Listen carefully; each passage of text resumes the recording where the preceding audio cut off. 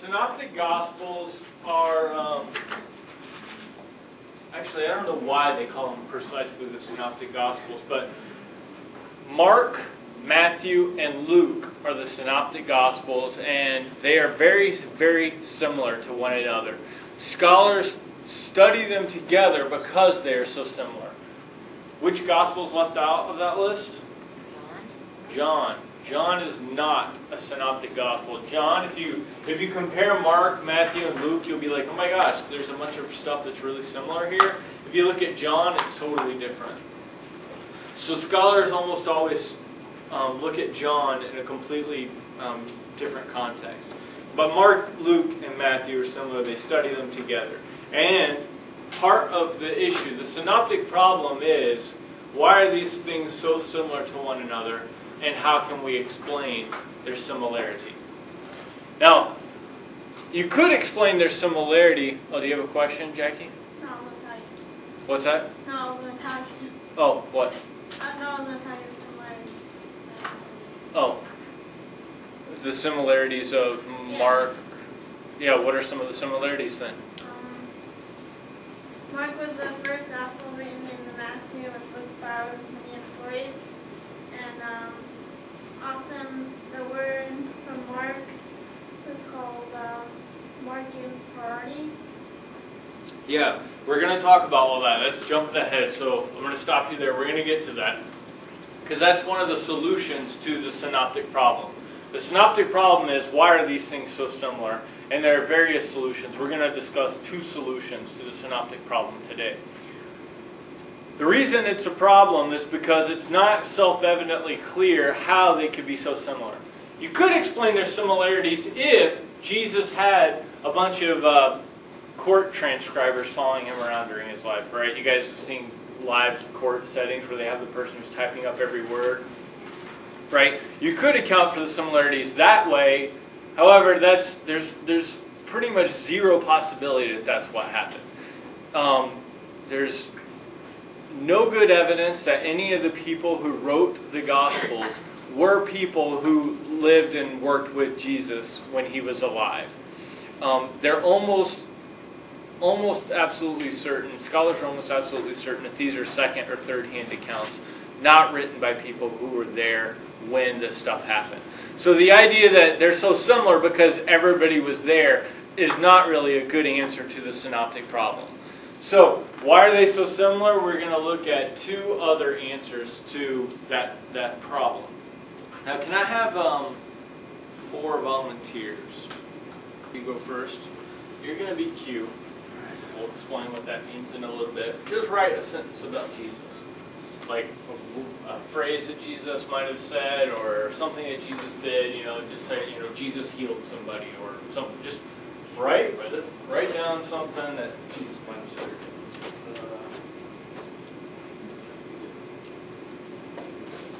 Uh, uh, make it good. Have another volunteer who writes something else? Kristen? You're, you're going to be Mark. Write something about Jesus. Maybe wait till after you see what he Okay. did and then like add something that's related or similar. Um, I'm writing and adding. Um, writing a no, sentence. Yeah, writing a sentence that may be related to what he's got.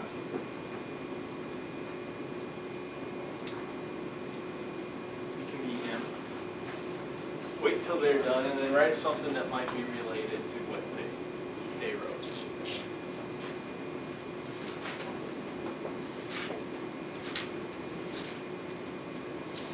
Jackie, same, you heard what, what I said. Just write something about Jesus, but that may or may not be related to what they said. All right, while Jackie is finishing, I'm going to have, wait, who is Mark? Or wait.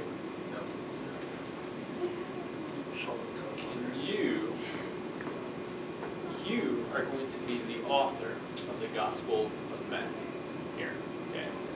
Now, what we're going to suggest is that you've got three sources. She's got three sources that she's going to use to compose the Gospel of Matthew. You've got the Q source, you've got the Gospel of Mark in front of you, And you've got this other stuff that we're just going to call the M source because it's stuff that the Matthew book has that nobody else has. Does that make sense?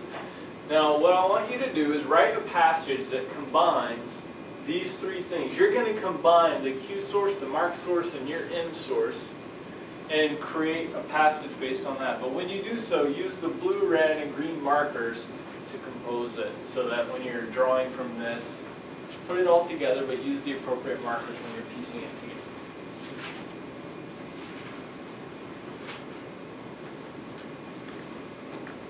Now, while she's doing that, Jackie, while Dana's doing that, Jackie, I want you to compose the Gospel of Luke, a passage.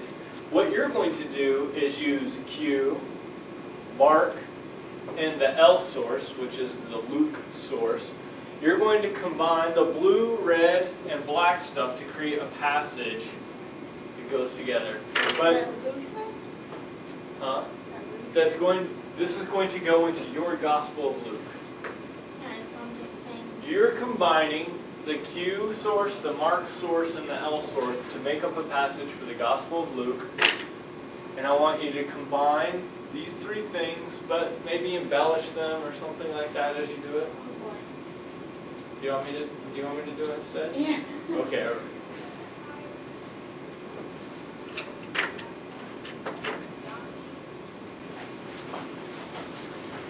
What we have here is the idea that in the first century there were all these different independent strains of information about Jesus, some of which may have been written down, some of which may have just been passed down orally. We have what we're calling the Q source that said Jesus healed the sick.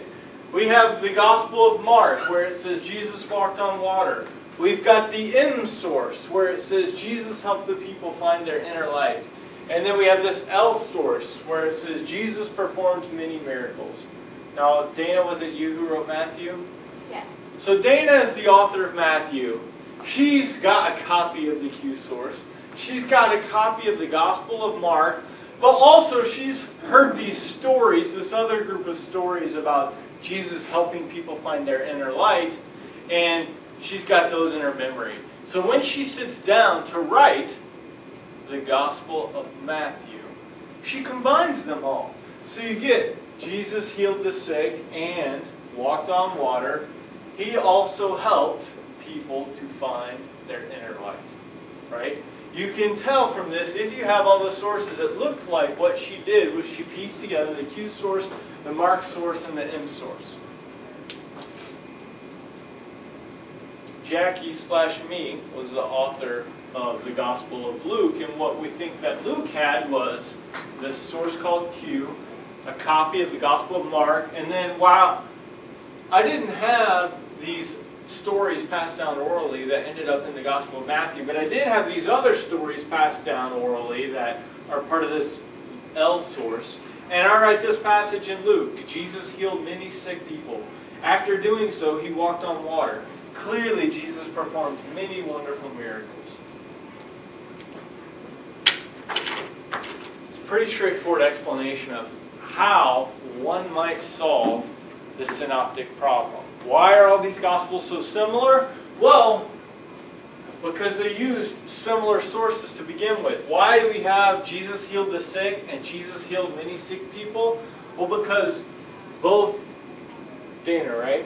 Both Dana and I were utilizing a copy of the Gospel of Q.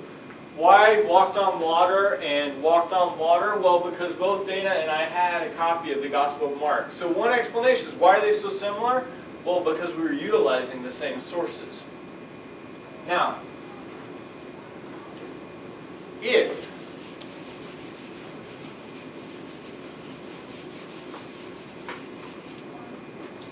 eighteen hundred years later,